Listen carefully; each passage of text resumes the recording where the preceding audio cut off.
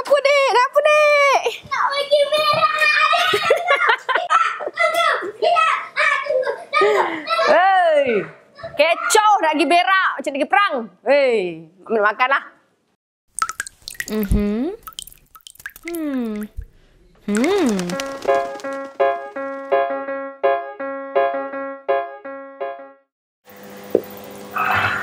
Oh, ha, ha, ha.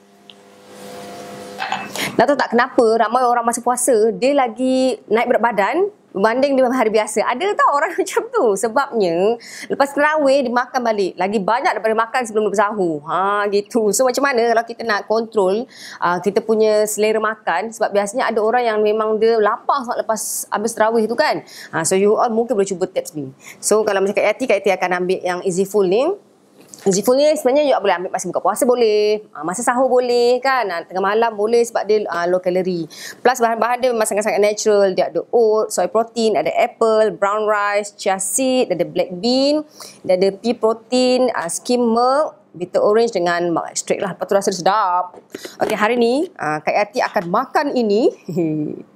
Buat makan ni bagus eh. Buat makan ni Kak Yati suka. Gitulah. Hmm. Kak ambil satu skop je. Ha, gitu kan. Kalau you all nak sedap, you all bancuh lah itu sikit. Sebenarnya dia ambil tiga skop. Tapi Kak ambil satu skop. Lepas tu, Kak akan cicah beliau. ha, ni penting ni. Nampak? Kak punya stok. Gitu. Ha. Tapi taklah habis balang. Ha, ni dia.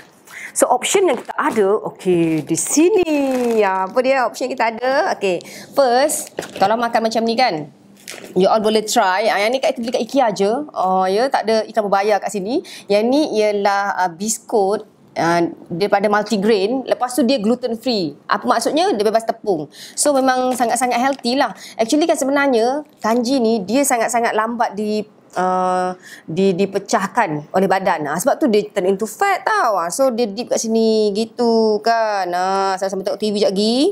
Uh, kan melantak tiba tak sedar lima biskut ataupun lagi satu option dia Kak Ati akan simpan dalam macam ni. Uh, dia ada pelbagai jenis coklat. Yang paling Kak Ati suka ialah Ah, uh, Kak Ati suka dark. Ah uh, ni ha dark chocolate. Kalau you ada bajet lebih belilah sugar free kan. Sebab dark chocolate ni sebenarnya healthy untuk jantung. Lepas tu dia lebih kurang gula. Kalau yang tak ada gula tu lagi bagus lah. Uh, dan lagi satu favorite ah uh, kan dan paling bagus lah kalau kita makan masa sahur atau puasa. Ah uh, tada. Ah uh, ini Kak Ati last beli hari tu masa pergi Mekah nampak simpan bawa oleh gitu. Yang ini nama dia kurma jantan. Sebab besar. Kan? Ni kurma ajwa. Satu lagi ni ni kurma betina.